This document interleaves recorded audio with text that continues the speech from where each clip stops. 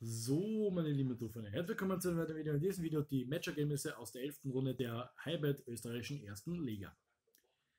Die Young Violets verlieren zu Hause gegen den SV Lafnitz mit 2 zu 3.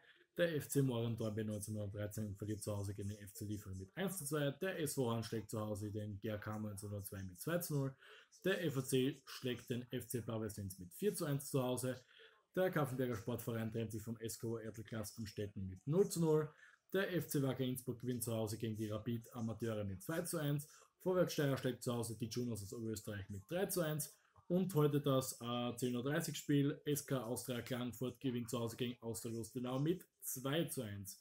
Dann die Tabelle nach 11 gespielten Spielen. Auf Platz 1 der FC Liefering mit 26 Punkten aus 11 Spielen. Auf Platz 2 der SV Lichtduell Lafnitz mit 25 Punkten aus 11 Spielen. Auf Platz 3 der SK Austria Klagenfurt mit 20 Punkten aus 11 Spielen. Auf Platz 4 der FC Blau-Weiß mit 19 Punkten aus 11 Spielen. Auf Platz 5 ebenfalls mit 19 Punkten der FC Wacker Innsbruck. Auf Platz 6 dann FAC Wien mit 17 Punkten aus 11 Spielen. Ebenso 17 Punkte auf Platz 7 der GRK 1992 nach 11 Spielen. Auf Platz 8 äh, SC Austria Lustenau mit 15 Punkten aus 11 Spielen. Auf Platz 9 ebenfalls mit 15 Punkten aus 11 Spielen der FC Moren Dornbirn.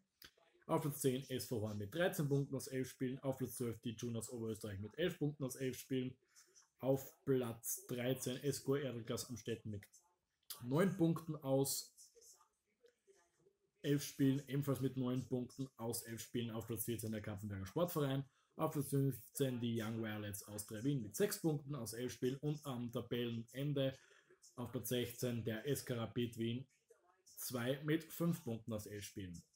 Das war's von diesen Ergebnissen. Haut rein und ciao.